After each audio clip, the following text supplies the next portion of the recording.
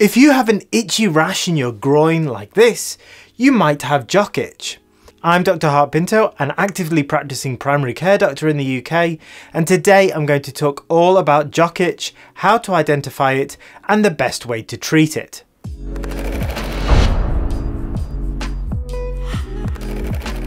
This is jock itch. It's a common fungal infection that forms a ring-like rash in your groin. Jock itch rash is usually first noticed in the groin crease, but will spread to the inner thighs and the buttocks.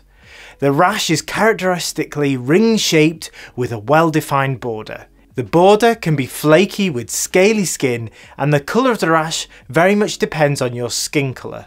In white skin, the rash is usually red. In darker skin tones, it may be purple, brown or grey. So if you have a groin rash that looks like this, you probably have jock itch.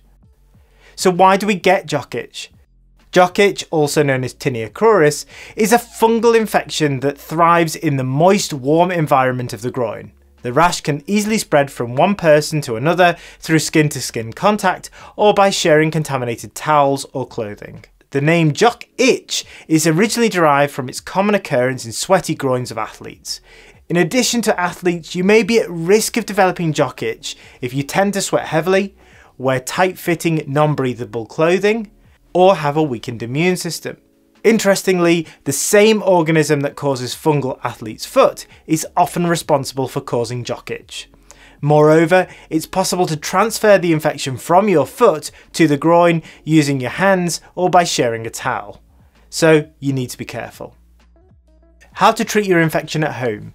The vast majority of cases of jock itch will clear in one to three weeks with the appropriate creams and good self-care. You can purchase antifungal creams over the counter at your local pharmacy and the commonly available ones are clotrimazole, known by the brand name Canesten, terbinafine, Lamisil, and ketoconazole Daktarin. In addition to using these creams, you should follow the following rules. Wear loose-fitting, moisture-wicking clothes made of cotton or breathable materials. Make sure you change your underwear daily. Make sure to wash the affected skin areas daily with warm water and remember to dry the areas thoroughly, especially in the skin folds where moisture can accumulate. Use clean towels and don't share them with anyone else to prevent the spread of infection to others. Wash all towels, clothes and bedding to get rid of fungal spores that may be lurking around. Okay, I've done that, but when should I see my doctor? If you tried the steps that we've just discussed and the over-the-counter creams, but your rash hasn't gone away or it's still spreading, it's time to speak to your doctor. Your doctor should be able to confirm the diagnosis of the rash and may offer an alternative antifungal cream or, in more difficult to treat cases, an oral antifungal tablet. Once treated successfully, ensure you continue to wear loose fitting clothing, change your underwear daily and avoid sharing towels and clothes. This should reduce your risk of reinfection. Additionally, some people can cross-infect themselves with athlete's foot infections, so if you notice any fungal infection of the feet, get it treated quickly to prevent its spread.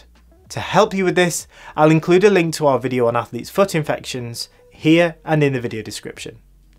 I hope you found this video useful. If so, why not share your experience with our community below and subscribe to our channel for more health tips.